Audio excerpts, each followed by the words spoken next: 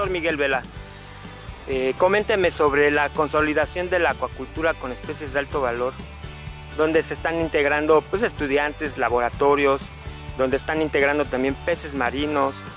¿Qué capacidad académica existe hoy día aquí en, Yucatán sobre la transferencia, sobre todo sobre la, bioseguridad, sanidad y la posición geográfica que, tenemos para especies potencialmente eh, probables o que son de buen éxito para la, economía y, generar eh, riqueza local.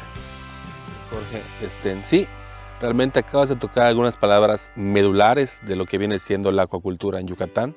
Sí, el tema de la bioseguridad es un tema que a todos los productores este, compete, a los comités de sanidad, sí, acuícola del Estado igualmente y al gobierno del Estado.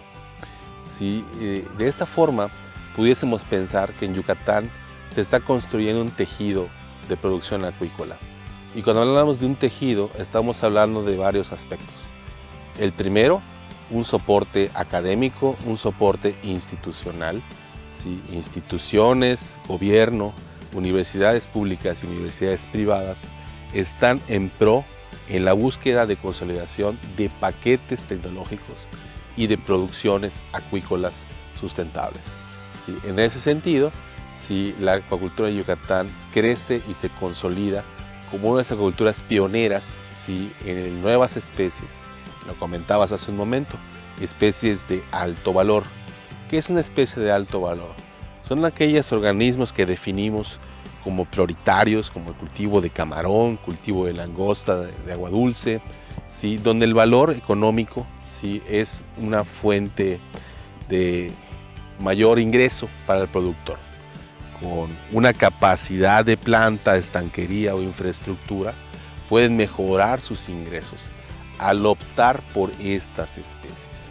Claro, la ventaja que tiene Yucatán, como comentabas, sí tiene un sinónimo de geografía, los mercados locales, los mercados internos que demandan alguna de esas especies y los mercados como Cancún o la Riviera Maya que también son fuente de principal producto primario generado en Yucatán.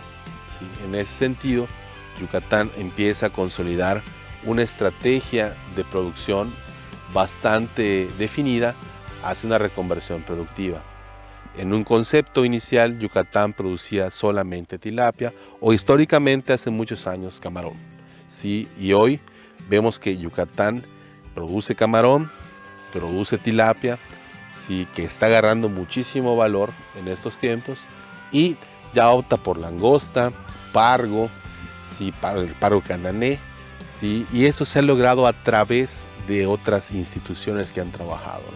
El tema de tambor rojo es un tema que es vigente, sí que se están preparando los reproductores para que también en corto plazo puedan tener otros organismos con esa versatilidad para la producción en Yucatán. Algo de esto tiene que ver con la calidad de agua, la calidad de agua y su distribución en todo el estado de Yucatán. Es decir, en las zonas costeras quizá la disponibilidad de agua dulce está limitada, pero la calidad de agua para especies euralinas como las corvinas son principalmente una gran oportunidad. Para camarón de la misma forma, ya sea en camarones nativos o en camarón de agua dulce, que ya se da en camarón del Pacífico o de agua dulce que también se puede dar en la zona del norte de Yucatán. En conforme a los tiempos, estos tiempos que hoy, hoy nos, nos impulsan, posteriores a una pandemia, sí, nos han enseñado muchísimo sobre nuestros productores, sí, la tenacidad que han presentado sí, al, al acoplarse, ¿no? y esos tiempos, compromisos que tenemos para poner en marcha, levantar unidad, ¿sí? o realmente definir o redefinir el sentido de la unidad. Son tiempos adecuados, específicamente en el modelo de tilapia.